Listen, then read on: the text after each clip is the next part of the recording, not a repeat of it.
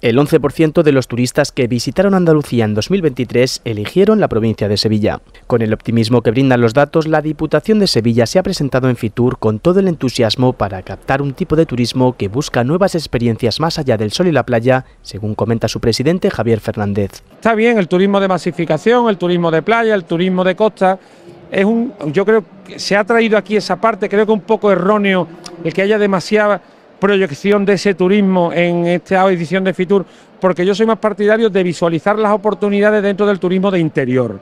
Turismo de interior tiene mucho margen de crecimiento porque uno de los grandes retos que tiene que tener Andalucía en ese equilibrio es reducir la estacionalidad. Sevilla fue la provincia andaluza de interior con un mayor número de visitantes que registraron un incremento del 33% en pernoctaciones el año pasado. Cifras positivas que transmitirán en las casi 80 presentaciones que ayuntamientos, empresas y asociaciones turísticas realizarán en la Feria Internacional. El turismo está cambiando y la gente quiere movimiento, la gente quiere dinamismo, la gente ya no, es, no va a un turismo de monumentos, sino que la gente quiere turismo ornitológico, quiere ir a ver cómo se fabrica el aceite, quiere hacer una mañana pues un paseo por alguna de las sierras que tenemos en Sevilla. Por ello, desde la Diputación esperan poder hacer un buen balance de la feria desde el hermanamiento y la solidaridad con el resto de provincias andaluzas, pero también desde la complementariedad entre Sevilla Capital y el resto de la región.